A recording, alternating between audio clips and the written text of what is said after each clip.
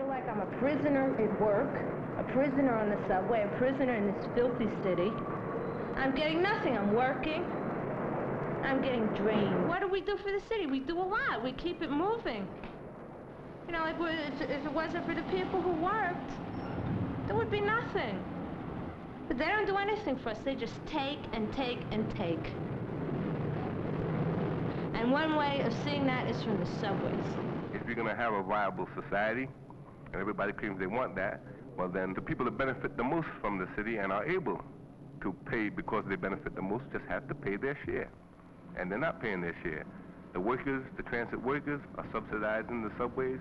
The people that ride them are subsidizing the subways.